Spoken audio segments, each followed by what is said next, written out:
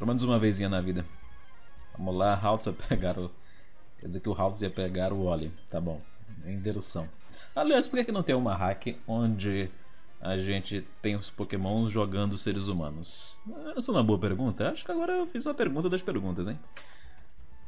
Por que, que eu nunca joguei uma hack onde tinha os pokémons jogando seres humanos? Eu acho que eu nunca vi uma hack assim. Nem daquelas que, entre aspas, eu proibir de trazer ao canal.